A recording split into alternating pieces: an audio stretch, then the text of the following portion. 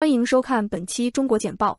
今天是二零二三年九月十三日，中国简报为您带来来自全球媒体的有关中国政治、经济和社会的最新新闻，以及独家专家分析。如果您发现我们的内容有帮助，请订阅我们的实时通讯。丁薛祥在中共香港事务机构中发挥领导作用。南华早报。中国执政的共产党第六号委员丁薛祥表示，他是负责香港和澳门事务的党的最高机构的领导人。丁俊晖在香港举行的高层峰会上发表预先录制的视频致辞，表示支持维护香港的独特地位，并赞扬香港在“一带一路”倡议方面所做的工作。他是在这次活动上发言的最高级别的北京领导人，他的出席表明他是负责香港和澳门的党的决策机构的最高领导人。普京会见金正恩。俄罗斯称寻求朝鲜在乌克兰战争中的帮助。环球邮报，朝鲜领导人金正恩在访问俄罗斯东方航天发射场期间，表示支持俄罗斯总统普京针对霸权势力的神圣斗争。金正恩的访问被视为两国关系加强的标志，预计朝鲜将向俄罗斯提供用于乌克兰冲突的武器，以换取经济支持。这次访问还提出了俄罗斯协助朝鲜太空计划的可能性。一些分析人士认为，这是朝鲜火箭开发活动的掩护。中国表示已注意到 iPhone 的安全事件。彭博社，中国外交部发言人表示，中国已发现苹果 iPhone 存在安全问题。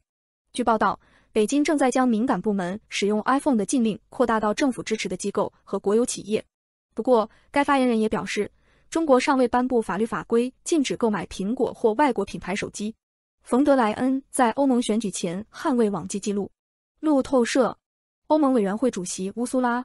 冯德莱恩在年度国情咨文演讲中为自己的往绩辩护，并概述了他的未来计划。他强调了对绿色能源的公平过渡、强大的地缘政治联盟以及与世界公平竞争的承诺。冯德莱恩宣布，欧盟委员会将对中国电动汽车发起反补贴调查，凸显了他捍卫欧洲企业免受不公平竞争的决心。他还表示，将任命一名特使，协助中小企业克服繁文缛节，让营商变得更容易。冯德莱恩吹捧了他的成就，包括兑现了他在2019年担任委员会主席时提出的提案的百分之九十以上。他强调了地缘政治联盟的建立、欧洲绿色协议的实施，以及对陷入困境的可再生能源公司的支持。面临通货膨胀等挑战，中国公布台湾一体化蓝图，并派遣军舰绕行台湾。美国有线电视新闻网，中国公布了一项促进沿海省份福建和台湾一体化的计划。中共中央。国务院印发的规划旨在将福建打造成为对台融合发展示范区。这一消息是在两岸紧张局势加剧之际发布的。中国最近在台湾附近进行了军事演习。鉴于近年来两国关系紧张，目前尚不清楚台湾将如何接受中国的提议。军情五处警告保守党议员候选人可能是中国间谍。独立报，据《泰晤士报》报道。在军情五处警告英国保守党可能是中国间谍后，英国保守党放弃了两名潜在的议会候选人。据称，这两名政客被认定与统战部有联系。统战部是一个与中国共产党有联系的政党，旨在在海外施加影响力。这份报告是在今年早些时候，一名议会研究员因涉嫌为中国从事间谍活动而被捕后发布的。对此，一位前国家安全顾问呼吁英国社会，包括学术界、企业和智库，提高警惕和提高透明度。里基茨勋爵警告说，中国和俄罗斯可能寻求渗透和颠覆英国和其他西方国家的民主，包括窃取商业机密。不过，他也警告不要营造怀疑文化，并指出透明度和意识是防范间谍活动的最佳防御措施。英国政府正面临对中国采取更强硬立场的呼声，一些议员认为应该将中国视为威胁。中国消费者为苹果 iPhone 十五喝彩，其他人更喜欢华为。路透社。苹果的 iPhone 十五在中国得到了不同的反应，一些在线用户称赞其更快的芯片和改进的游戏功能，而其他人则更喜欢华为的新款智能手机。苹果在中国高端智能手机市场占据领先地位，部分原因是美国出口管制导致华为智能手机业务下滑。然而，iPhone 十五的发布受到了密切关注，有报道称中国政府机构和国有企业禁止员工使用这款手机，苹果及其供应商的股价下跌。金正恩在俄罗斯航天港与普京会面，可能暗示他的太空和武器野心。多伦多新报，朝鲜领导人金正恩和俄罗斯总统弗拉基米尔·普京周三在西伯利亚的火箭发射设施会面，这是四年来的首次峰会。预计此次会议将重点讨论扩大两国军事合作。金正恩可能会向俄罗斯请求经济援助和先进武器技术，以换取朝鲜的弹药。朝鲜领导人还可能寻求俄罗斯协助开发军事侦察卫星。洲际弹道导弹 （ICBM） 和弹道导弹潜艇。朝鲜在将军事间谍卫星送入轨道的努力中屡屡失败，其洲际弹道导弹使用液体燃料，无法长时间保持燃料状态。金正恩可能会寻求俄罗斯帮助开发固体推进剂洲际弹道导弹，这种导弹更容易移动和隐藏，发射速度也更快。他还可能寻求援助，以确保朝鲜洲际弹道导弹的弹头能够在重返大气层打击目标时幸存下来。泰国免除中国人旅游签证以提振经济。日经亚洲，泰国政府暂时免除了来自中国和哈萨克斯坦游客的旅游签证要求，以吸引更多游客并增加年底旺季的消费。此举是总理斯雷塔。塔维辛支持旅游业和刺激该国因出口疲软而放缓的经济计划的一部分。今年前八个月，泰国接待外国游客一千七百九十万人次，其中中国游客二百二十万人次。然而，这还不到二零二三年五百万目标的一半。中国表示并未禁止购买使用外国品牌手机。路透社。中国外交部否认有任何禁止购买和使用包括苹果在内的外国手机品牌的禁令，以回应媒体报道称，政府机构和公司已告诉员工在工作中停止使用 iPhone。工信部表示，虽然注意到多起与苹果手机相关的安全事件，但尚未出台任何禁止使用外国品牌的法律法规。最近有关该禁令的报道，恰逢北京和华盛顿之间的紧张局势不断升级，这给苹果公司带来了挑战，因为苹果公司的收入增长和制造严重依赖中国。中国央行誓言支持需求和价格反弹。路透社，中国人民银行 （PBOC） 一位不愿透露姓名的高级官员表示，中国央行将增加需求并支持价格小幅反弹。人民银行将加强财政政策、产业政策协调，密切监测金融政策效果，营造适度的货币金融环境，促进实体经济有效需求。这位官员还提到，中国的信贷稳健增长与复苏相一致，实体经济的借贷成本有所下降。与此同时，中国推出了一系列措施，包括降息和房地产宽松措施，以支持陷入困境的经济。该官员还暗示可能会降低存款准备金率，并使用结构性工具引导金融机构支持实体经济和促进内需。张勇离开云部门，马云仍是阿里巴巴最大老板。日经亚洲，张勇突然辞去阿里巴巴云部门阿里云首席执行官的职务，引发了人们对马云对该公司的持续影响力的质疑。张勇于二零一五年成为阿里巴巴集团首席执行官，并于二零一九年接替马云担任董事长。然而，当马云于三月份返回中国时，张勇决定将其首席执行官和董事长职位让给马云。张勇先生辞去阿里云负责人职务出人意料，这导致人们认为，尽管马云没有担任正式职务，但仍对公司具有重大影响力。阿里巴巴目前正在进行重组，并计划拆分为六个主要业务集团。其中五个集团将进行 IPO，重组计划并未对阿里巴巴股价产生预期影响，阿里巴巴股价陷入停滞。盒马鲜生连锁店的潜在 IPO 也被推迟。中央情报局是否贿赂分析师已拒绝 COVID 十九实验室泄露理论。南华早报，顶尖病毒学家对举报人的说法表示怀疑，及中央情报局贿赂分析人士，以否认 COVID 十九从武汉实验室泄露的理论。这一说法是在向美国众议院两个委员会作证时提出的，是有关病毒起源的持续辩论的一部分。这位被描述为高度可信的中央情报局高级官员的举报人声称，调查 COVID-19 起源的七名中央情报局分析师中有六人得出结论，认为实验室泄露理论是有可能的，但他们获得了经济激励来改变他们的立场。病毒学家称这种说法不太可能，而且是政治辩论的一部分。中国保险公司老板因腐败被判无期徒刑。美国有线电视新闻网，中国人寿保险原董事长王斌因腐败被判处无期徒刑。王被判受贿四千四百六十万美元，隐匿海外存款七百八十万美元。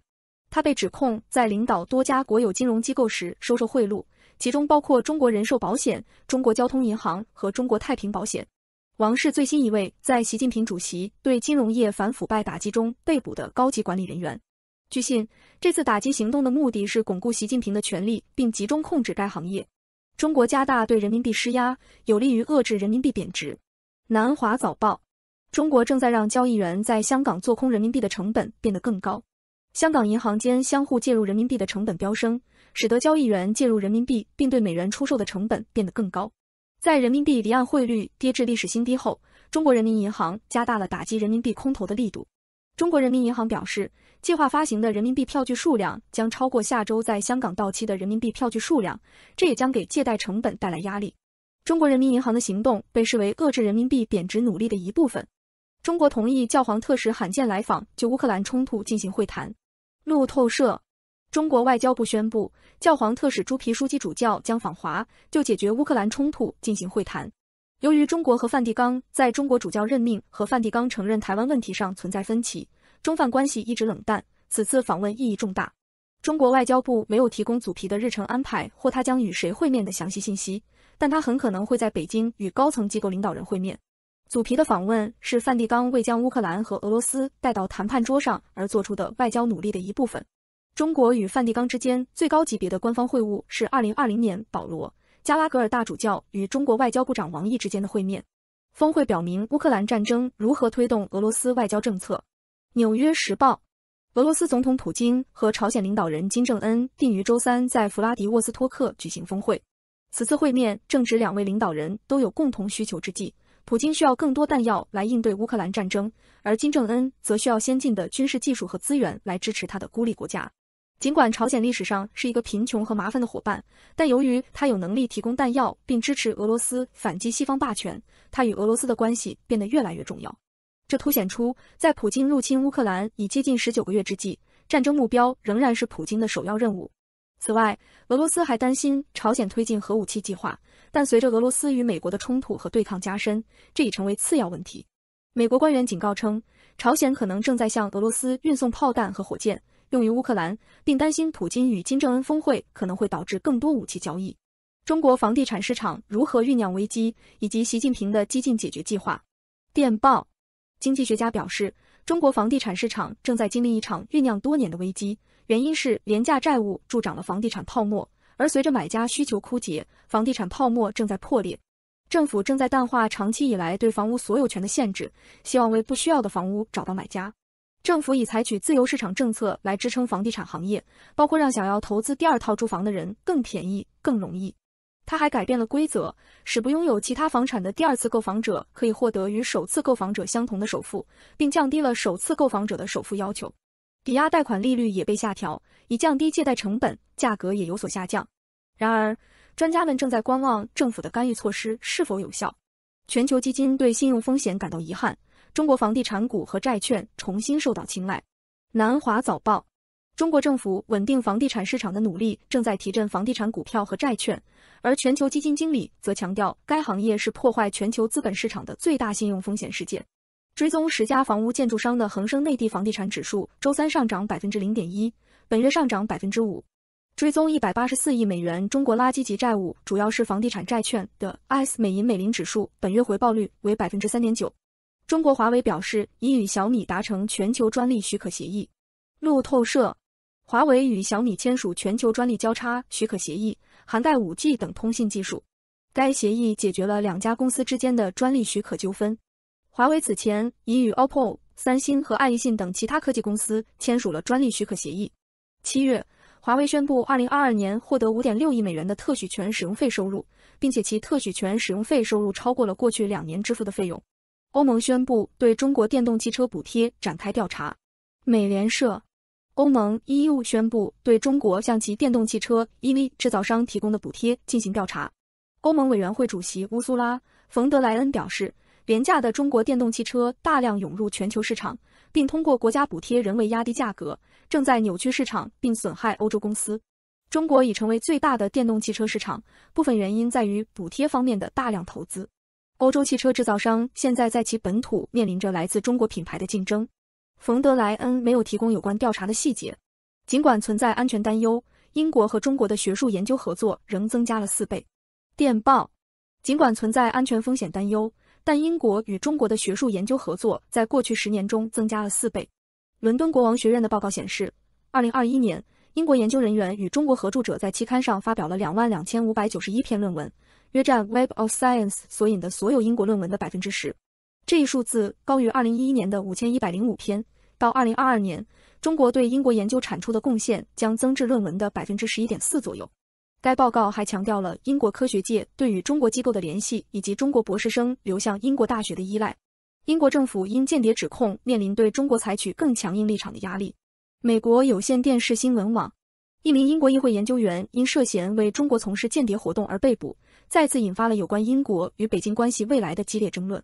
这场风暴在周末爆发。伦敦星期日《泰晤士报》报道说，今年早些时候，根据英国官方保密法，这名研究人员与另一名男子一起被捕。报告称，该研究人员在担任部长职务之前，一直与高级保守党议员保持密切联系，其中包括安全部长汤姆·图根哈特 （Tom Tugendhat）。政府消息人士告诉美国有线电视新闻网，图根哈特自从担任安全部长以来就没有与此人联系过。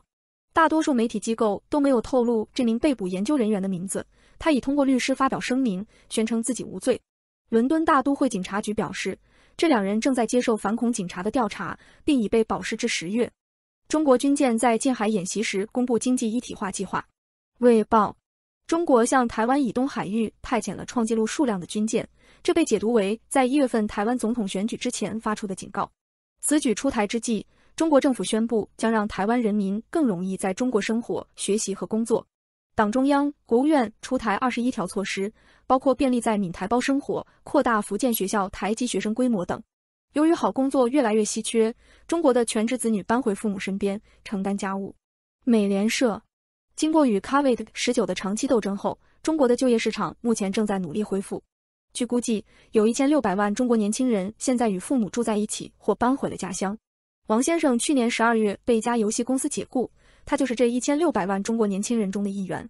他花了六个月的时间在深圳求职，但没有成功，最终导致他要求搬回老家。六月份，城镇十六至二十四岁年龄段失业率达到创纪录的百分之二十一点三。如果将全职成年子女算作失业人口，失业率将是三月份官方失业率近百分之二十的两倍多。就业荒是执政的共产党面临的一个问题。与去年同期相比，四月至六月经济增长了百分之六点三。当时，中国部分地区正处于严厉的 COVID 十九封锁之下。官方公布的中国城镇总体失业率为百分之五点三，但年轻人受到的影响尤为严重。中国金融老板因腐败案被判无期徒刑。英国广播公司，中国人寿保险原董事长王斌被中国东部山东省法院判处死刑，缓期两年执行。两年后，刑期将减为终身监禁，不得假释。王被判受贿四千四百六十万美元。并非法藏匿七百五十万美元海外存款。王是最新一位因北京持续打压金融业而被监禁的高调老板。此前参与打压的人物包括华融前董事长、国家开发银行前董事长、华兴控股首席执行官等。莫迪希望让印度成为芯片制造超级大国。他可以。纽约时报：印度正计划在古吉拉特邦建设一座半导体城，希望成为芯片制造中心。该地点目前是一片贫瘠平原。但政府希望吸引外国公司在该地区设立制造设施，政府将提供一百亿美元的补贴，为每家公司的支出提供百分之五十至七十的资金。英国矿业和金属集团维丹塔 （Vedanta） 董事长阿尼尔·阿加瓦尔 （Anil Agarwal） 预计，到二零二五年，维丹塔印度制造的芯片将问世。然而，由于印度没有芯片制造经验，也缺乏专业工程师，建设该工厂将是一项挑战，以及所需的设备。目前，世界上大部分尖端逻辑芯片都在台湾生产，印度也在与中国竞争。中国在自己的芯片制造业上投入了大量资金。一些专家认为，印度的野心太高，但扩大该国在芯片供应链中的作用可能是一个更现实的目标。随着交易的不断进行，中美地区关系升温，成为政治得分最高点。南华早报：中国各省市越来越多地与美国各州建立联系，以促进两国之间的经济关系。这一策略在中国国际投资贸易洽谈会上得到了展示。来自加利福尼亚州、伊利诺伊州和纽约州的代表在会上展示了新能源、绿色经济和生物科学项目。事实证明，这种做法是成功的。伊利诺伊州宣布与中国电池制造商国轩高科达成二十亿美元的交易。尽管如此，专家表示，各国在与中国贸易方面几乎没有回旋余地，因为向中国出口技术被视为国家安全问题。世界因美国霸权而变得更好。彭博社，多年来，美国一直是霸权国家或全球主导力量。然而，随着其他大国的崛起，其相对全球影响力开始下滑。全球权力动态的这种转变将对全球政治以及战争与和平问题产生重大影响。问题在于，美国是否想继续保持霸权地位？世界是否应该支持美国衰落或继续保持领先地位？这个问题的答案很大程度上取决于一个人的地理位置。例如，中国希望看到美国霸权的终结，以便重新夺回全球大国的地位。与此同时，像爱沙尼亚这样的小国依靠美国来保护他们免受潜在侵略者的侵害。霸权不仅涉及防御，还涉及谁来决定和执行国际体系的规则。一些人认为，霸权对于维持世界秩序和稳定是必要的；另一些人认为，权力平衡可以维护秩序；而另一些人则认为，各国可以在没有霸权的情况下进行合作。美国自1945年以来一直是头号霸主，但其主导地位日益受到质疑。美国的全球领导地位问题将至少部分的由明年的美国总统选举决定。意大利和英国在习近平问题上结结巴巴。彭博社，欧洲与中国的关系正变得越来越令人担忧，贸易不平衡、地缘政治紧张以及对技术转让和经济欺凌的担忧。意大利和英国是特别重要的测试案例，因为他们都与中国关系密切，但现在正试图扭转立场。然而，他们正在谨慎行事，以避免报复和损害本国经济。美国大选使情况变得更加复杂。特朗普的美国优先政策可能会回归到威胁脱离欧洲的时代。欧洲正试图在对华政策上寻求团结，但各国之间开始出现裂痕。中国必须结束胁迫外交。日经亚洲，东盟领导人在印度尼西亚举行的峰会上对中国在南海的激进扩张表示担忧。北京的行为非法且缺乏合法性，但中国拒绝停止。这位主席在东亚峰会上的声明呼吁，针对中国最近的行动自我克制，不要进行会加剧紧张局势的活动。中方对南海问题的态度与对日本福岛第一核电站处理水排入海洋的态度是一样的。美国大学不应该切断与中国的所有联系。外交事务，在中美关系恶化的情况下，两国之间的学术交流受到阻碍，这一趋势可能对两国和世界产生不利影响。由美国和中国科学家共同撰写的研究论文，几十年来首次出现下降。调查显示，美国正成为中国学生不太理想的目的地。拜登政府最近仅将美中科技合作协议延长了六个月，并有人呼吁让它到期。然而，在竞争和潜在冲突时期，保持两国科学家之间的联系至关重要。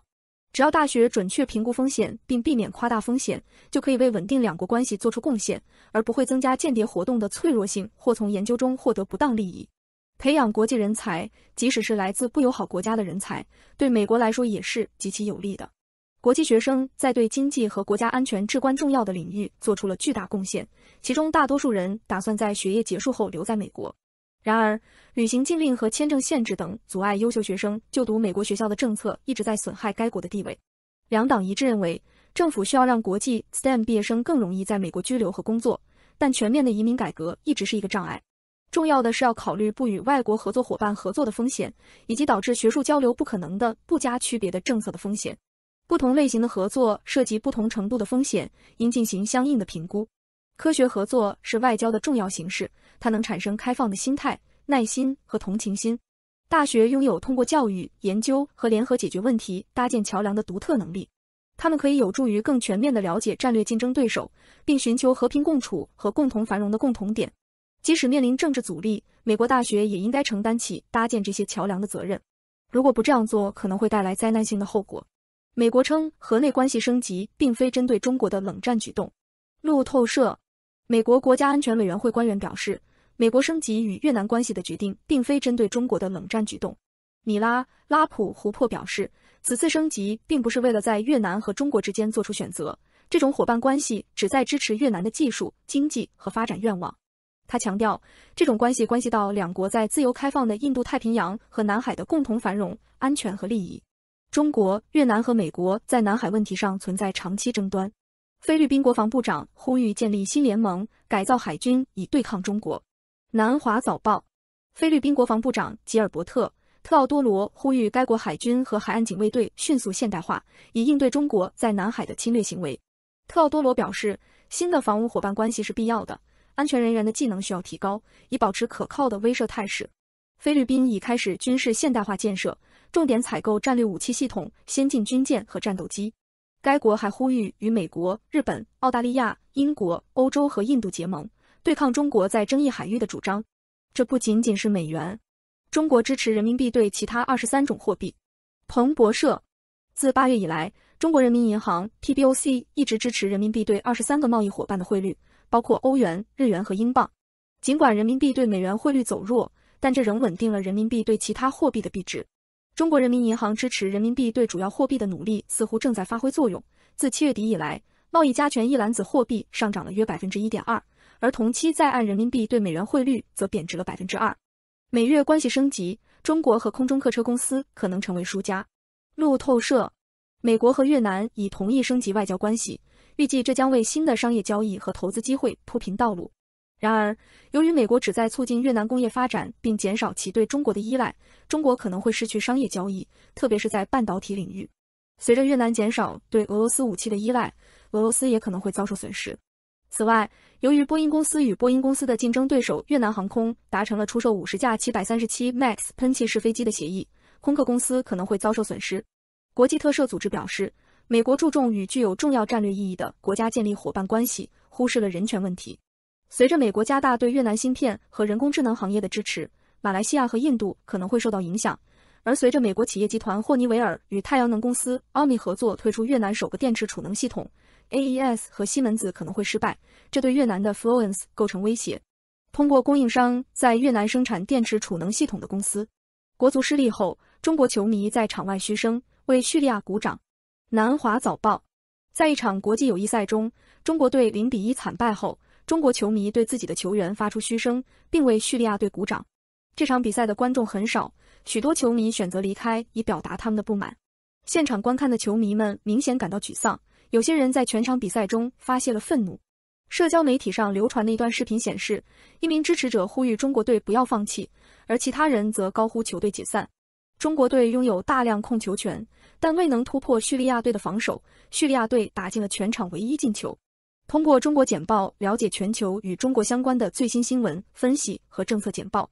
我们的团队从各种来源，包括媒体机构、智囊团、政府机构和行业专家汇总、综合和总结最重要的信息。我们的使命是为您提供适合您感兴趣的特定领域的易于访问且极具价值的信息。我们了解了解与中国相关的最新动态的重要性，并致力于让我们的读者能够理解这些信息。访问我们的网站，加入对话，并了解与中国相关的最新新闻和动态。三 w 点六 dobrief 点 com。大家好，欢迎回到《明镜追击》，我是岳哥。不出意外的话，中共中央政治局会议将在这个月召开一次，对外发布中共二十届三中全会召开的时间。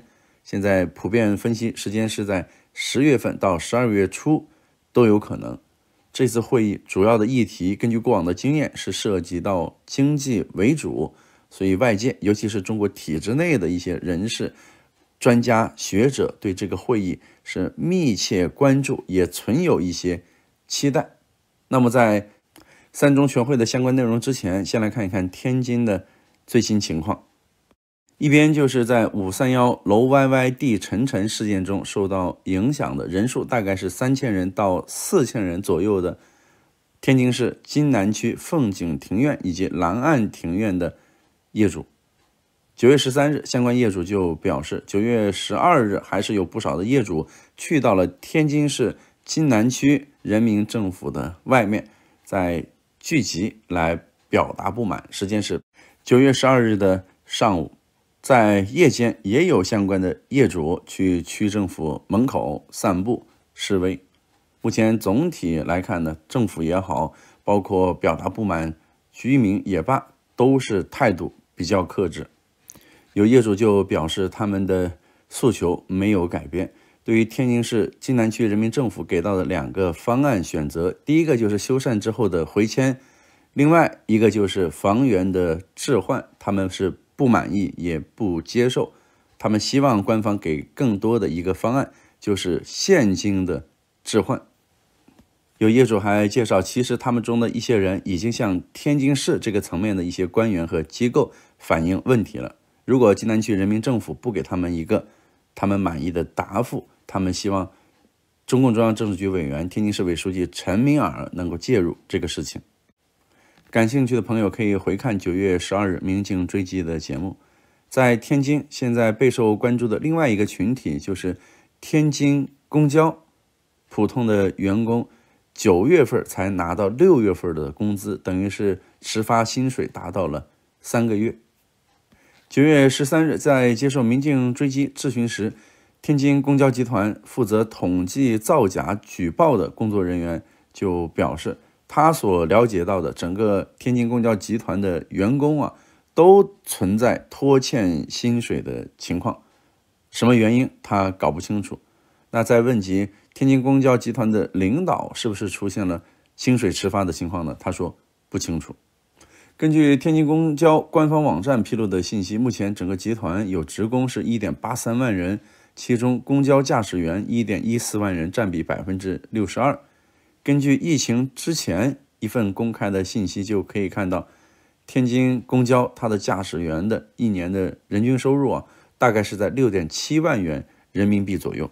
目前有不少的声音是把矛头对准了李鸿忠，天津之前的。市委书记也是在蔡奇之前普遍被认为中共党内最大的抬轿子的人，就认为啊他在疫情三年防控期间捅得过死，所以呢造成整个公交系统瘫痪，没有人去乘坐。不过关于这个说法，事实或者说数据还是显现，其实天津公交集团作为一家所谓的国有骨干企业，一直是老大难。二零一八年就已经出现了资不抵债的情况。天津公交它主要的收入来源是公交营运，那其实就是卖票为主。但是因为公交它有一定的公益性，票的价格是受到政府管制的，所以上不去。另外一块，天津公交集团还有整车及配件销售的收入，但是这两块主要的收入是没有办法去覆盖它的成本的。主要的成本最大头的是人工，再加上燃油费用、折旧费用、运营以及维修费用。整个集团它融资渠道是以银行借款和发行债券为主。前面提到了，其实疫情之前，二零一六、一七、一八年就出现了债务节节高升的情况，二零一八年是出现了资不抵债。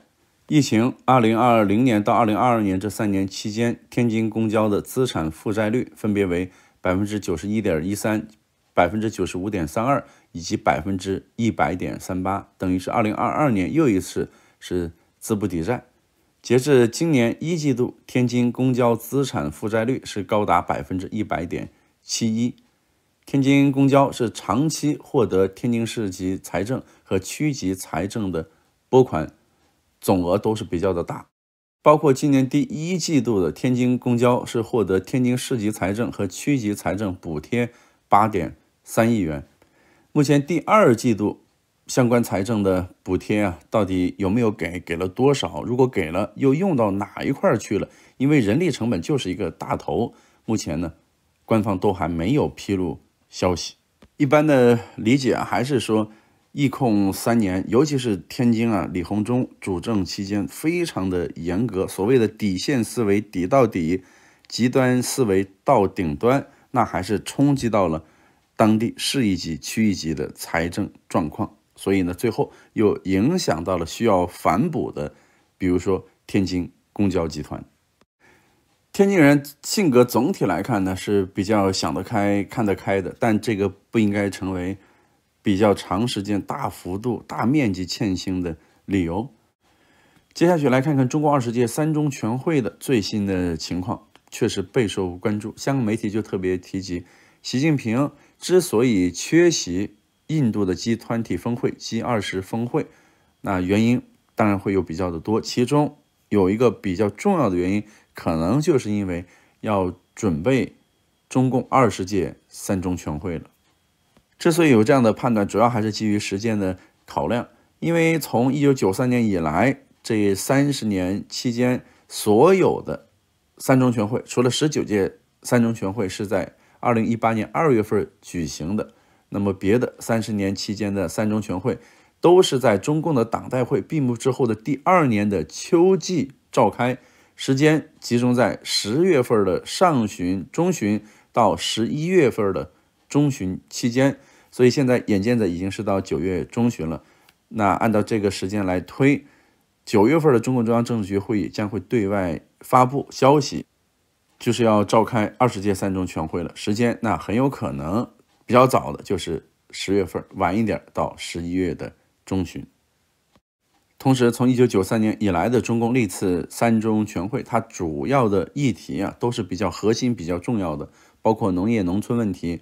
包括改革开放问题，包括经济体制的改革等等问题，所以香港媒体也如此啊判断。那这一次的很快就要召开的中共二十届三中全会议题也会非常重要，而且很有可能也是涉及到经济议题。关于二十届三中全会和经济议题之间的关系，其实中国大陆现在有一些学者还是很敢言的，也道出了自己的心里的想法和期待。有学者就特别介绍啊，也是透过非常知名的财经媒体表示，期待接下来中共中央能够利用恰当的时机，包括啊秋天的二十届三中全会，能够在一些重要的本源性问题上给社会传递积极信号，推动社会氛围进一步回暖。那什么本源性问题呢？这位学者就表示，要站在提高国家治理能力的高度，重新思考定义意识形态等多方面的问题，比如如何认识私有财产、个人权利自由等等，从而推动中国国家治理机制的整体改革，完善以法治为基础的社会主义市场经济体系等等。具体到民营企业，有学者就给到了中共二十届三中全会所期待的一个设想啊，就是如果能够借鉴以往成立中共中央全面深化改革委员会、中共中央军民融合发展委员会或中共中央农村工作领导小组这样的做法，这个也是海外媒体说的比较多的习近平的小组治国或者小组长治国了。那么回到专家的说法，就是。能够专门成立一个中共中央民营经济发展促进委员会，或者是中共中央民营经济发展领导小组，然后由国家领导人担任小组组长，以最强力度来协调财经、宣传、政法等方方面面的部门，然后呢，就才有可能更加提高关于目前促进民营经济发展政策的执行效率和问题解决。能力。那么目前官方所承诺、所强调的，在中国国家发改委之下来设立民营经济发展局，这个局仍然是有必要存在的。那么它可以作为中共中央委员会或者是领导小组下面的直接对口的落地机构、办事机构。所以学者就给到了心中的一个想法，在中共中央这个决策层面有专门针对民营经济的一个小组，然后在落地执行办事层面。就由中国国家发改委民营经济发展局来做，那思路就理顺了。而且这个思路一打开，就能够极大的去刺激中国的民营经济，能够体现中共是对民营经济非常重视的。因为显而易见的，目前中国民营经济的发展已经遇到了制度性的困境，涉及到意识形态、法治、金融、产业、税费等方方面面的问题，远远不是一个司局级部门。可以去协调，可以去解决的，而是需要从顶层规划的高度去办。可以看到，中国大陆体制内的学者还是有智慧，也有胆量去提这样的建议。不过，批评的声音比较多，认为这样的专家学者还是比较的幼稚，因为在眼下中国的政治氛围之中，恐怕成立在中共中央层面成立这样的一个小组的可能性并不大。关于这一点，民进追击是向中国大陆一位知名的政治学者进行了请教。那么，这位学者不愿意具名的情况下，他表示，目前是看不出中共中央会成立一个民营经济运作小组或者说领导小组的，看不到这个迹象。但是，他也强调，中国或者说中共周边的环境正呈现全方位的恶化，所以他认为，如果说能成立这样的一个小组，那当然是好事情。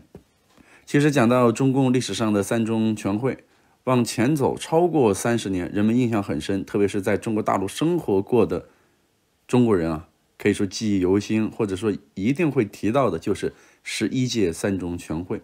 不只是有经济议题，还有非常重要的政治议题、思想方面的议题等等。时间是一九七八年十二月十八日至二十二日。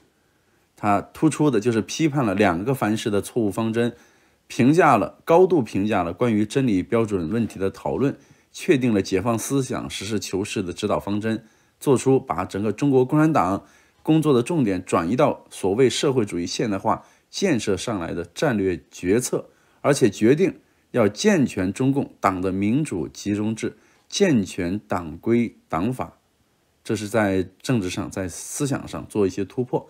那么在经济建设这个方面，是要求从纠正急于求成的错误倾向和整个中共要注意解决好国民经济重大比例严重失调等问题出发，对陷于失调的国民经济比例关系进行调整，对过分集中的经济管理体制着手进行认真的改革，等等。总还是有一些中国体制内的学者，包括一些专家型、学者型的官员，在相对小众的场合，还是会来谈十一届三中全会，浓墨重彩的进行赞美，同时呢，也是做一些比较或者说期待中国二十届三中全会会开成什么个样子。但就目前的中国政治氛围来看，比如说十一届三中全会，它突破性的意义就是突破了两个凡是。要求去正视毛泽东，而不是仰视毛泽东。在眼下的中国环境之中，因为已经有了两个确立、两个维护等等了吧，恐怕这一块没有办法做更多的突破了。另外一点，在经济上，十一届三中全会它重要的成果就包括是给企业一些自主，实现经济责任制。中国经济形势走向多样化，也是从一九七八年那一次三中全会以后开始启动的。那么，在中共内部的改革、所谓的新政的建立之上，十一届三中全会也是明确了党政企要初步分权，在领导体制上要坚决克服权力过于集中的官僚主义、赏罚不明现象，而且在十一届三中全会之后。邓小平是对中国的政治体制的改革问题进行了深入的探索，尤其是在一九八零年的八月十八日，邓小平是在当时的中共中央政治局扩大会议上发表了讲话，把权力过分集中同中共的领导制度上的弊端联系了起来，进行了深刻的批判。他认为，在中共党的领导体制上，权力过分集中。是诸种弊端当中十分重要的一个弊端，是产生其他弊端在领导体制上带根本性的原因。有中国大陆的一些学者此前在接受民进追击时就表示，其实他们感受就是习近平已经完全推翻了邓小平的那一套。邓小平曾经就提到，在中共和中国国家领导制度以及干部制度中最主要的弊端啊，就包括权力过分集中的现象。包括家长制现象，包括干部领导职务终身制的现象和形形色色的特权现象。两相比较，现在所谓的“习时代”啊，这些现象已经回来了，而且已经是登峰造极。所以，就眼下现实的情况而言，退而求其次，如果说二十届三中全会能够在经济议题上，特别是在民营经济的议题之上有比较大的突破。相信这些中国体制内的学者、改革开放派的学者啊，当然自然还有企业界的人士，就会感到一些慰藉了。最后再来看一看，目前中国所谓的学习贯彻习近平新时代中国特色社会主义思想主题教育，这个名字非常的长，已经结束了第一阶段，步入了第二阶段。用中国官方的话来说，这两个阶段啊，第一批、第二批的主题教育活动正在衔接联动。在这个背景之下，中国的地方宣传机构中影响啊、名气都非常大的浙江宣传是刊出了一篇文章，指现在啊，主题教育过程之中，低级红、高级黑在中国的基层是普遍存在。还给出了这么几个例子，比如说前一段时间某个地方领导跑马拉松的视频在网上是引发关注，广大网友感兴趣的是高达十一点二万条的跟帖评论数量，其中不乏就写到啊，书记左手和右手分别摆了三次和四次，寓意狠抓三个落实做到四该四必须，处处体现担当精神之类的评论。浙江宣传就特别提到，不管这些评论呢，它怎么样的一个来头，有些人是肉麻的去吹捧领导，也有一些网友啊是特地来调侃恶搞，但是结果就是这样的评论，一旦被境内外别有用心的人炒作利用，就成了抹黑党委政府形象的高级黑，时时不忘所谓的境外境内势力。还提到了一个例子，就是有些地方为了表彰网络正能量人士，就隆重举办了评选和颁奖活动。结果在活动中却词不达意地将这些人表彰为“红色键盘侠”，忽视了“键盘侠”这个词本身的贬义，把一件好事儿就办成了网络笑话。此外，浙江宣传还提到了一些例子啊，就包括大白天点马灯学党史、吃青年餐等等，让人们产生了强烈的不适之感。浙江宣传就特别建议。要减小低级红、高级黑现象的危害，最好的办法就是从源头上消灭它们，特别是要防止人们或者说党内啊这些宣传工作者自身的低级红被人炒作利用成为高级黑。主流传播的价值来不得半点水分，既不必说过头话，也不必做过头事。浙江宣传就表示，其实我们的很多工作。真实、平实、朴实就足以讲好，堆砌溢美之词，人为拔高反而过犹不及。以上就是浙江宣传这篇文章主要的意思了。目前在中国社交群组里流传的也是比较的广。他批评的对象是中国的基层，说有这样的低级红，有这样的高级黑，包括主流价值传播是来不得半点水分的。浙江宣传也恐怕只敢批评所谓的基层。那在中共的高层，目前抬轿子的，把习近平普通的一篇讲话，动辄就解读成为马克思主义经典文献的人和事，其实并不少见。另外一点也能够看到，因为所谓的主题教育，它总体来说呢，是理论的色彩、务虚的色彩，或者说有些批评人士所提到的这样的理论那样的提法，它本身呢虚头巴脑。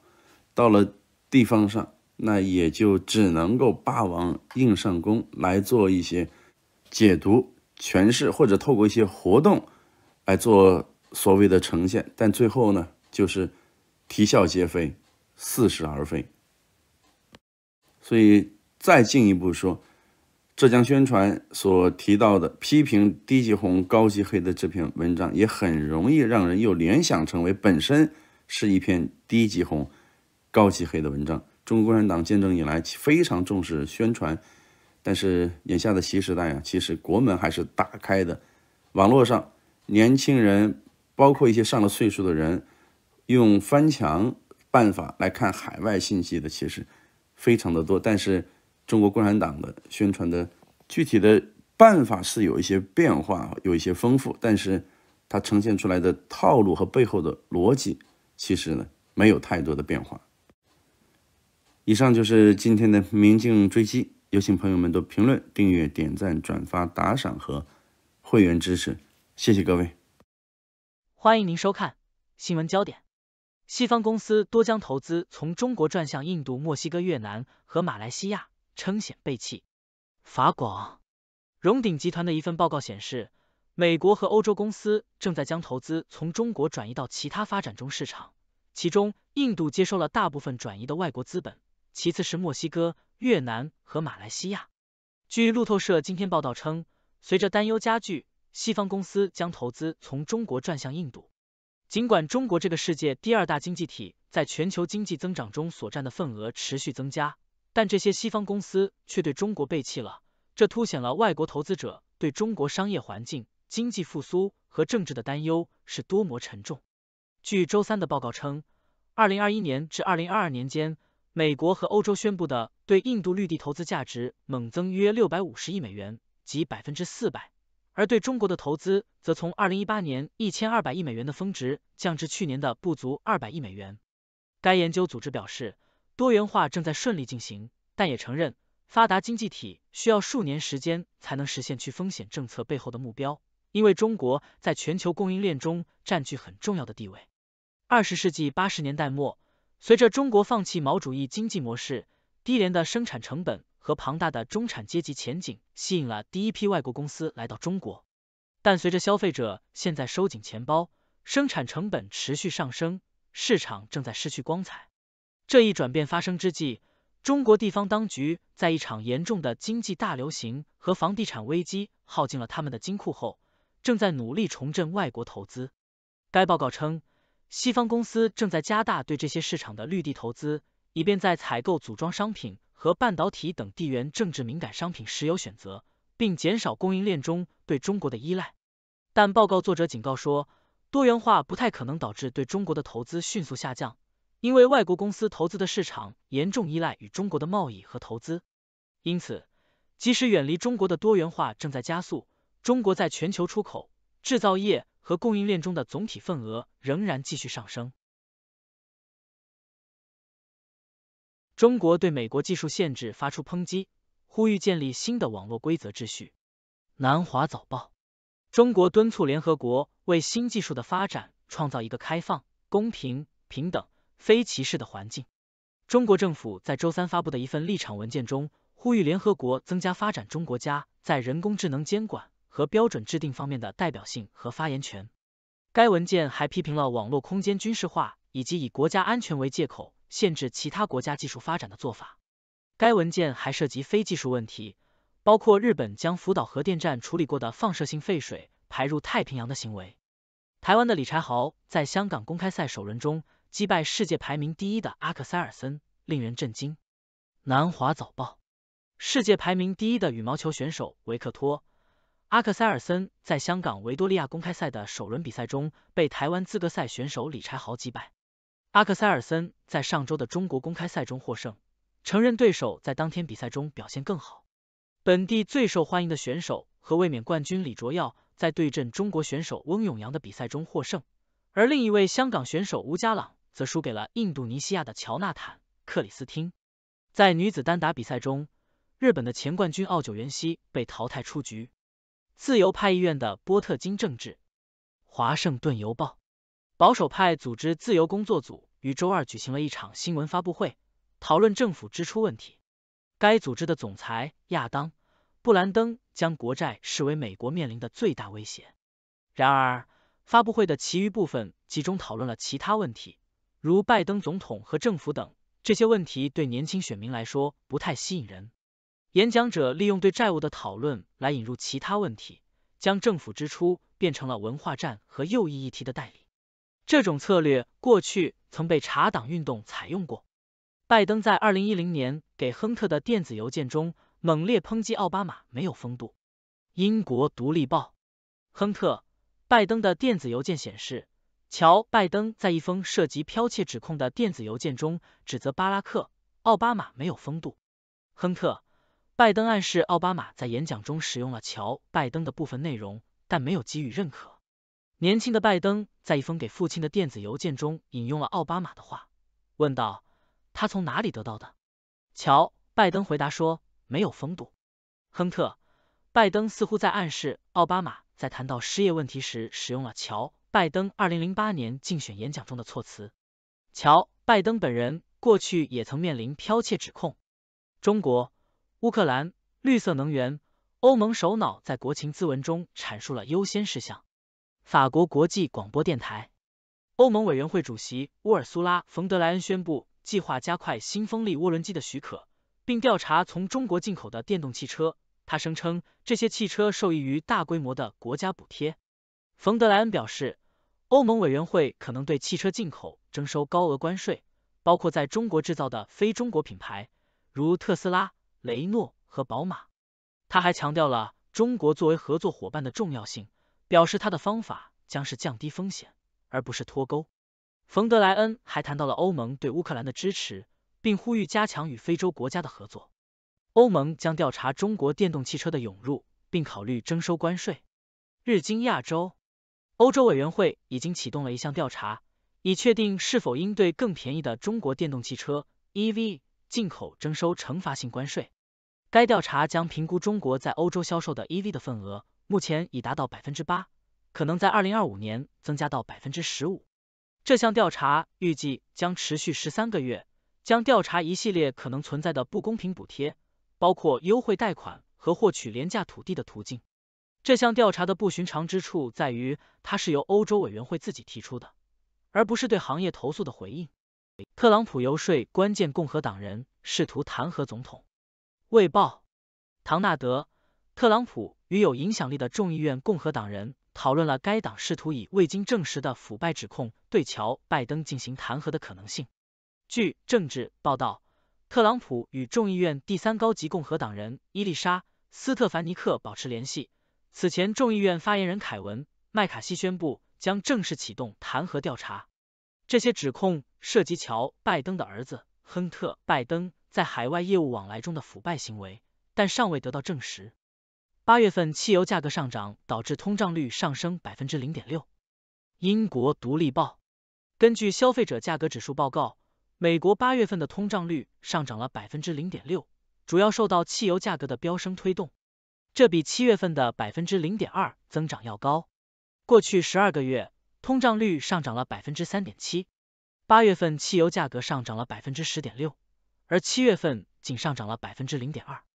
食品价格指数上涨了百分之零点二，其中肉类、家禽、鱼类和鸡蛋的价格上涨了百分之零点八，猪肉价格上涨了百分之二点二。美联储已经提高了利率，以控制通胀。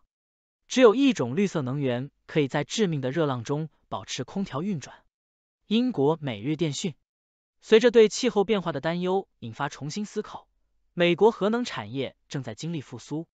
尽管自福岛核灾以来，监管变得更加严格，但该行业被视为减少碳排放的关键途径，特别是在加州等州，退役燃气发电能力的问题日益突出。电力公司正在延长反应堆的使用寿命，甚至有重新开放之前关闭的核电站的讨论。美国核能监管委员会被敦促改变退役的方法。允许在燃料泄除之前进行一段保存状态的停用期。然而，人们担心在新建活动停滞期间，供应链和劳动力技能已经受到削弱。佐格尔核电站在佐治亚州的核电机组一直面临问题，其预算已经增加了一倍以上。尽管成本高昂，核能被视为最安全的发电形式，并有潜力提供长达六十年的零碳电力。谢谢您的收看。上面播报的内容。是六度团队推荐的全球专业媒体、智库、政府机构和行业专家的最新报道、分析简报。更详细的内容，请大家去这些媒体、智库的网站阅读。这些内容并不一定反映六度简报的立场，亦不能作为任何决策的建议。六度团队由专业媒体人、学者、科学家组成的独立新型媒体，大家可以根据自己的专业要求订阅各种简报。网址是六 do brief 点 com。您在世界任何地方都可以通过电邮收到六度简报。收看世界的中国节目，我们好久啊没有聊台湾了，今天我们就来聊聊台湾。原因是就在节目开始前几分钟，我看到一篇重磅的文件发布了，那就是中共中央国务院关于支持福建探索海峡两岸融合发展新路、建设两岸融合发展示范区的意见。这个文件啊比较长。一共是二十一条，这在两岸关系里面是一个非常非常有标志性的里程碑式的一个文件啊！它给了台湾居民很多连中国其他省的一些居民都享受不到的一些待遇，比如说，之所以叫示范区，叫深度融合，还真是够深的啊！比如说，台湾人在福建暂住登记不用搞了。你只要是拿着你的台湾居民居住证，你到了福建，到了厦门，你直接租房子就行了，不像以前你还得搞个暂住登记，公安局啊你得注册，这一点对台湾人到大陆啊特别特别的方便啊。另外，在福建的定居落户，中央用了四个字叫愿落尽落啊，就是你只要想来，你就可以来啊，几乎可以说。台湾居民的居住证和大陆居民的身份证，在日常的生活、商业的交往里面是同等便利的啊，基本上能当大陆的身份证用，所以对台湾来讲，对台胞来讲，确实是十分的方便。那另外，在福建购房置业、买房子啊、就业就医、养老、社会救助、社会福利等等等等，都会陆续的展开一些大动作啊，让台胞在福建的待遇方便度，至少能和福建当地人持平啊，甚至有些还要超过他们啊。那么这个消息啊出来以后啊，海内外的关注很多，讨论也很多啊。我总的感觉啊，它是个好事情。大家要知道，这个示范区啊，搞的就是厦门和金门啊，福建和马祖这两个地方。厦门和金门的距离啊，只有三公里啊，特别特别近啊。福建跟马祖也是只有个二十公里左右。从现实的角度来讲，在军事上，金门和马祖对台湾不具有任何价值，它离厦门啊实在是太近了啊。那为什么还保留这个？那就是跟当年中共的老一辈无产阶级革命家啊，他们这个高瞻远瞩有关。就像当年啊，解放军申请说要不要一鼓作气把香港打下来，啊，上头说不要打，留着它，将来有用啊。果不其然，后来香港就成了后来中国改革开放的外汇来源基地啊，信息技术来源之地啊，中国跟海外对接的一个桥梁、纽带和窗口。当然，台湾当初啊，他们不想这么干啊，不打了很多次没打下来吗？啊，没打下来，最后金门、马祖啊。中方绝对是有能力拿下来的啊！最后没拿，也是邓小平他们发话了，不要拿，留下来当做一个交流的窗口。哎，你看到今天为止就可以看出来，那一辈领导人他们的目光是极其远大的。打什么打啊？拿下来又有什么用？留下来，你看到今天就能拿来说事儿，就可以搞啊深度融合。按照文件的说法，要搞同城生活圈啊，你基本上就是一个城市了，基本上就是将金门。啊，马祖纳入厦门和福州的这样一个啊生活和社会管理的体系啊，当然这里面除了生活以外，呃还有企业啊，对这个台湾企业来厦门来福建投资办厂置业啊，也提供了更多的一些便利。这种便利到了什么程度？到了遍及好几代的程度。你不光到这儿来居住、旅游、玩行啊，投资办厂也行。子女在福建的上学。在公立幼儿园可以就近啊就读，中小学也一样，方针就是欢迎就读，一视同仁，就近入学啊。那更不用说福建的高校，比如说厦大这种科研院所，扩大招收台湾学生的规模，支持在福建的各类企业，尤其是台企，聘用更多的台湾员工啊。台湾地区的医生都可以在福建执业了，那甚至台胞还可以在啊福建的。非宗教社会组织负责人、法定代表人啊，进行试点，那就他们可以担任类似的这些职务啊，所以这个力度啊，那是非常大的啊。但这个背景啊，大家都清楚，是因为二零二四年的一月，台湾大选啊就要举行了。目前为止啊，赖清德，民进党的赖赖清德啊，排名很靠前啊，几乎可以说离台湾总统的宝座最近。那更关键的是，在中美对峙。中国和欧美要脱钩的这样一个大环境底下，台湾这个位置啊太敏感了啊！美国也在拉，欧盟也在拉！大陆当然不想让台湾啊这样一个啊对他来说这样一个风水宝地落入别人之手，所以在这种情况下，加强深度融合啊，在两岸关系里面，我觉得这是一个非常之举，是非常非常有力度的一个举措。那。近期看是为了选举，长期看啊是为了让台湾和大陆按照习近平的想法，就是最终实现他这个统一。这招是不是会很有效呢？首先，我觉得某种程度上来讲会非常有效，因为啥？老百姓嘛啊，不就图个安稳日子，图个啊挣钱多、花钱爽，到哪儿都方便吗？台湾尤其如此啊！台湾的这个消费主义啊，比大陆一点都不差啊。台湾我也去过两三次，啊，给我的印象很深，那就是台湾人很温和，很有礼貌，绝对比我们大陆人啊有礼貌。同时啊，讲究享乐啊，享乐第一，那也是极其明显的。给我印象最深的就是到了台湾以后，啊，给我开车的那个司机啊，我就问他啊，这个他知道我是从欧美回来的嘛，所以我问他一些问题啊，他也不避讳，他可以直接聊，他不怀疑我是这个啊。共党分子啊！我说你在台湾你是支持绿呀，你还是支持蓝呀？这个司机跟我说，我我既不支持绿，也不支持蓝，我支持红啊！我说为啥？他说有钱就行啊啊！大陆旅行社来了以后，人家的好多，特别是那个私密游、高端游，人家大陆的土豪出手大方啊！哎，我特别爱接大陆团啊！这个司机跟我说，呃，挣钱挣得爽啊，特别特别乐，特别的高兴。哎，我想好吧，这个。台湾人啊，不用多，只要有三分之一有这样的想法，台湾就已经不战而败啊！你只要想活得舒服、活得好啊，有钱挣、有钱花，那大陆就可以满足你这一点啊，是不是？那是很显然的。再聊到后来，我这跟这个司机啊，呃，待了有一个星期，往后来聊啊，他就开始呃往下三路聊了，因为是个男生嘛，一个大叔往下三路聊。我问他，我说你去过大陆没有啊？他说，他说我去过，我是炮兵团长。我听了有点吓一跳。我说，呃，大陆虽然对台湾同胞特别友好，他也不至于允许你带炮兵过去啊，是不是？这是军方的事情，这是很严肃的一个一个一个就国防事宜。他说不是你们那个炮啊，是别的炮啊。后来我仔细一问，他是带领一波台胞啊到中国的珠海、成都啊。去那个打炮啊，就是啊，去找姑娘，到处游玩、游山玩水，这个啊啊纸醉金迷，去玩那个去了啊！我想，好吧，你看，这是台湾这个这个这个最普通的老百姓，他最真诚的一个心声啊，他就只想过好日子，别的他不管啊。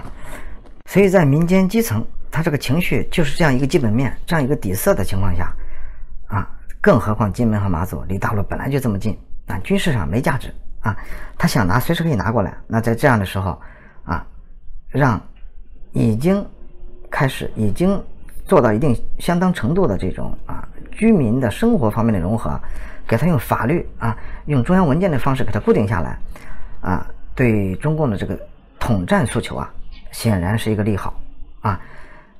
好多事情啊，不是横向的比，不是纯粹的比。很多情况，你看台湾这个人均的 GDP 已经过了三万美金了，远远超过大陆。台湾还有这么多的高科技企业，但问题关键是啊，大陆的体量太大，你只要跟它沾上边儿啊，它就像一块巨大的吸铁石，让你啊求生不得，求死不能，你必须跟着他转啊。所以很长时间以来，台湾就已经出现了空心化的这种趋势。你看，好多少台商到大陆投资设厂，是吧？啊，钱也带过去了，技术也带过去了。啊，企业家人也过去了，啊，呃，不但大老婆过去了，每个台商在大陆都有二奶、三奶、四奶啊，到处落户安家。台湾有个家啊，大陆还有个家，这些台商乐此不疲啊，他已经形成了这样一个现实。那，当然说完他这个新的二十四条、二十一条啊，它好的方面以外，它还有一些哪些地方啊，可能。不会像原先设想的这么如意，甚至有可能蛮拧呢，那也是完全有可能的。比如说，在这个二十四条、二十一条的意见里面，竟然有一条是什么？说允许台湾商人来大陆啊，搞电台、投资搞电台、做节目、搞推广。哎，我以前真的没见到过这个这方面的规定，因为在媒体、文化、影视产品的传播方面，大陆控制是最紧的，这点不用我解释，我们节目的观众朋友肯定都明白。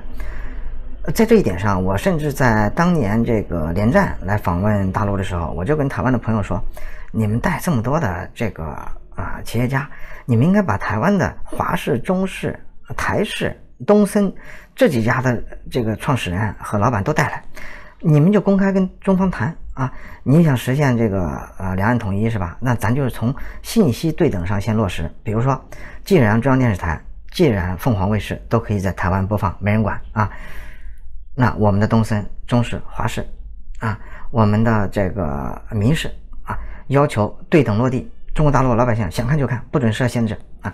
如果你们提出这种要求来，那就把这个皮球踢给中方，对吧？你们看后面怎么谈再说。结果啊，当时这个啊，跟着连战代表团到中国去的这些老领导啊，台湾老领导说：“哎呀，这个建议不错，可惜啊，我们已经去完了。你要早提这个建议就好了啊，这不是早不早的问题。”啊，我们再看北京今天出台这个决策，说允许你台湾商人在我这儿办电台，他有足够的把握，就是经过这么些年的发展，他就算让你办，你也不能怎么地了啊！你看看台湾的这些媒体人，这些电视节目，我这几天老看那个，呃，不是老看，偶尔瞥见那个中天，中天里边那几个不要脸的媒体人，他如果不是那个一口标准的台湾普普通话腔的话，我都以为是中央电视台。有个叫什么赖月谦的，哎呦，那叫一个无耻啊！啊，那巴不得早点把台湾啊卖给北京就得了，口口声声啊都不是从台湾啊最本质的、最深刻的这个利益出发，简直就是个红色电视台啊！所以这台湾的媒体它已经是这个德行了，在这种情况下，他又允许你来办。那有什么区别呢？那无非就是厦门的台湾台，是不是？没什么区别，所以他已经有把握让你这么做，也不会出岔子了，他才让你办的啊。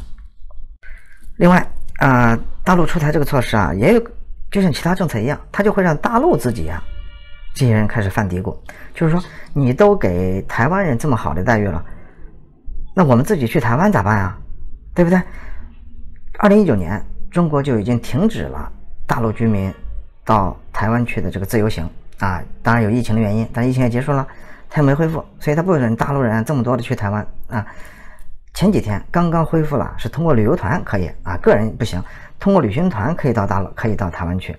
那这个放开的幅度啊，远远比啊向台湾的居民伸出橄榄枝啊啊要强。那所以两岸啊，不管怎么样，人员应该更多的、更频繁的往来啊，双方就会对自己的定位、对对方的看法不断的去调整啊。对台湾人来讲，看大陆啊，你就不会像前几年。有些媒体人竟然在台湾的媒体上说啊，台湾大陆啊穷的吃不起茶叶蛋，哎，你说这他要对大陆的认识是这种程度的话，你不分分钟被他搞死吗？啊，视野太狭窄，啊，信息啊太虚假，啊太一厢情愿。同样，大陆一样啊，大陆这些年这个很多人啊趾高气扬，认为我们都已经全世界第二大经济体了，我们这个政治优势怎么怎么怎么样？那意思啊就是。我能看得起你，把你台湾收回就不错啊！那一副高高在上、趾高气扬的样子。当然，这几年啊，被疫情打压的很多人，大陆的企业家也开始灰头土脸，那些精英啊，也没这么精英了。在这种情况下，让他有更多的机会去看看台湾，体会台湾的风土人情，体会台湾的那个啊温情的善意，对他们也是有好处的。就是你仔细看看人家台湾人过的生活，人家怎么就过得啊这么滋润啊？那确实啊。也是他们应该学习的。那更何况台湾的民主政治啊，虽然有它的乱象，但我认为啊，它仍然是华人这个圈子里面全世界民主的典范。因为他没打仗啊，至少没打仗。再一个，没有严格意义上的内乱，没有，无非就是选举那几天乱一点儿啊，嗓门高一点。选举结束以后，台湾人啊该怎么过日子怎么过日子啊，也没什么大不了的。在这一点上，我真的是奉劝很多大陆的精英啊，你到台湾去啊。你也别只去阿里山啊，只去什么日月潭，只去吃那个士林夜市，要赶上人家台湾选举或者其他的一些政治运动，你也参加一下，学一学，感受一下，也比你一辈子做一个土鳖强啊！你看我就有这个觉悟，我第一次去台湾的时候，特别逗啊！台湾这个交通部的领导请我吃饭，六点半吃饭，我说啊，咱能不能在一个小时之内吃完啊？七点半啊，我想去那个啊。土城看守所，大家知道土城看守所是干嘛的吗？当天晚上啊，这个台湾前总统陈水扁因为涉嫌贪腐被关押到土城看守所。我说我要去看一看啊！我说我这一辈子啊没有看到呃在任何一个华人国家啊领导人一号男一号啊因为贪腐被关进了监狱的先例。我我想在台湾体验一下看一看。哎呀，台湾这个交通部的领导啊考虑了。半天，哎呀，闷酒喝了好几杯，说：“哎呀，邦瑞，我劝你还是不要去。正常情况下是可以的，但这两天啊比较特殊，为啥？一到选举，特别是这个像陈水扁被关这种时候啊，台湾的民意都是极其高涨的，特别是台中和台南地区阿扁那些老乡，都是敲锣打鼓啊，就从台南、台中赶过来了，现场十分的热烈，也十分的混乱。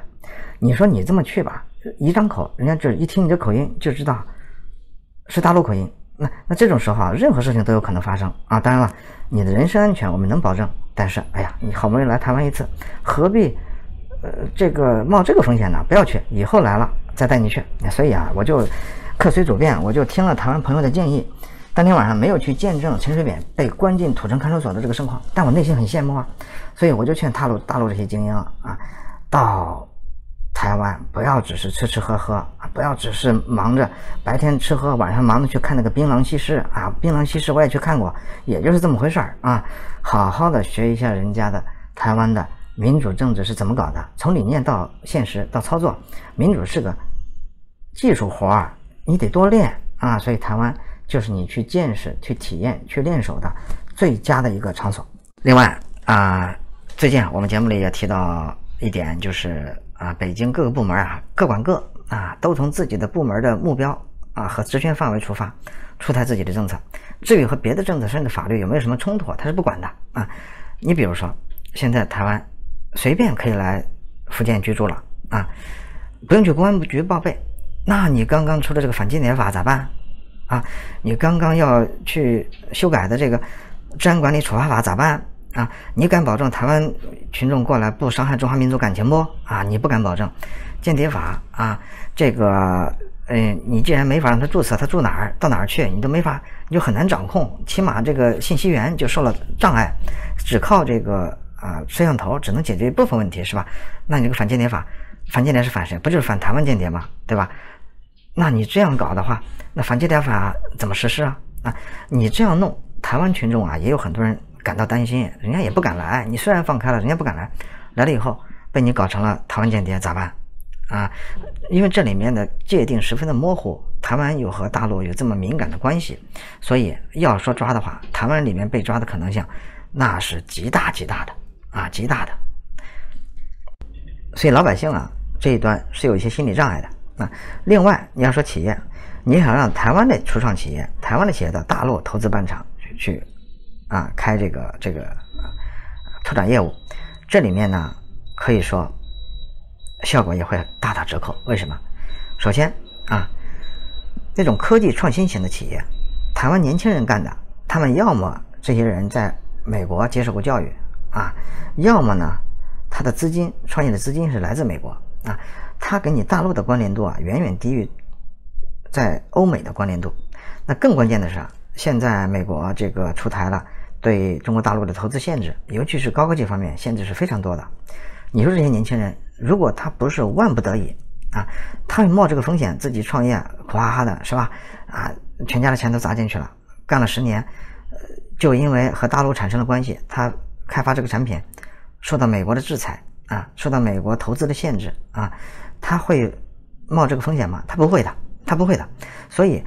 最大的可能还是那些比较传统型的，比如说商贸的啊，什么大润发这样的是吧？什么这个呃生产类型的，生产一些具体的中低端产品的，这些人呢，本来就跟大陆有比较强的这种叫强联系，他会继续扩大在中国的啊生产和这个营销的规模，甚至是嗯从无到有重新开始。但你说这些高科技的这一类的，他不会去的啊。主要的原因就是因为美国老盯着他们呢啊，他们心里啊不敢。那其实还有一点就是，对台湾居民啊这么宽宏大量啊，这么放开手脚，尺度非常大的，给他们在大陆生活提供便利，这个整个大陆啊正在往集权、往紧缩、往控制的方面去发展，这个趋势啊是一百八十度拧巴的。举个最简单的例子，你在厦门待几天是吧？你总不能只在厦门待着吧？你到全国各地玩的时候，哎。比如说去北京，我上次不是说了吗？啊，你没有身份证，提前预约你就去不了天安门广场。这两天我更听说了更雷人的消息，在北京啊，进地铁买地铁票都要用身份证实名验证了啊，非常麻烦。他还不是刷，你要手动输入自己的身份证号啊，还要手动输入你的姓名才能买到票，搞得这个很多的这个呃乘客啊，不用说外地的了，北京本地的人都极其反感。那但为什么？很这个上面给的答复，为了提高北京地铁的安全防护能力啊，但也没听说没就是不实名制不用身份证之前，北京地铁整天出什么恶性事故了没？没有啊，哎，这一切都是为了控制。所以你这个台湾居民的身份证啊，台湾居民的这个这个这个居住证，你在厦门行，你到了北京，到了全国，你连张地铁票啊你都买不上啊，那这种东西啊也是完全有可能的。所以在中国现在生活啊，别说你台湾人了。就连中国大陆人也只能边摸索边看啊，一天当做一天过，谁知道明天又有什么奇葩规定？总而言之，这些规定啊都是为了管你，为了控制你啊，为了收拾你而出台的啊，所以这个情况啊并不是特别的乐观。那今天啊就先聊这些，先聊这些。台湾啊很久没聊了，我们也诚挚的欢迎您给节目点赞啊，这几期啊点赞都数量都非常高，向大家表示感谢。咱们下期节目再见。